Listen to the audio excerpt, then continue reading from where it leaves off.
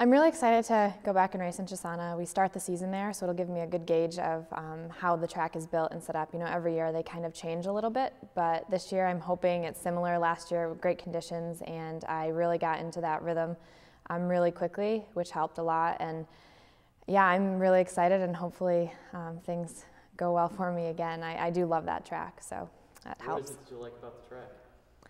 The track as a whole is, a, is pretty technical, and I tend to do better on those types of tracks. It's fast and it's challenging. Um, I actually struggled pretty pretty badly when I initially went there for the first couple times before the 2006 games. So it was one of those things where I wasn't good at it, so it made me really mad, and I really wanted to get better, and it, it's paid off.